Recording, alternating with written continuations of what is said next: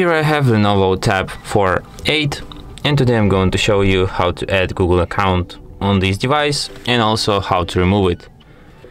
So firstly you have to open settings, then go to the account section, tap add account, select Google.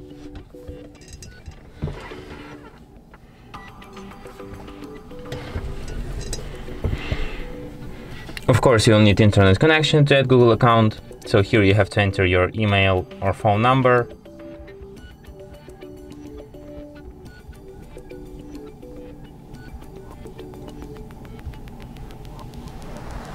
Tap next. Then you have to enter your password.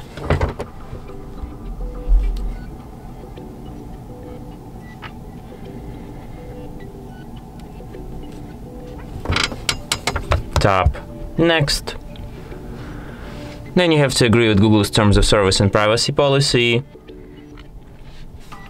And then you have to select if you want to enable this Google backup feature you can leave it be, I'm going to disable it right now. And account will be added.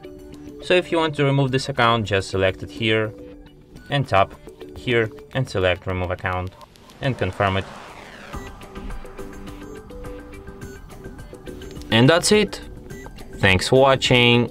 If you find this tutorial useful, don't forget to hit that like button and subscribe to our channel.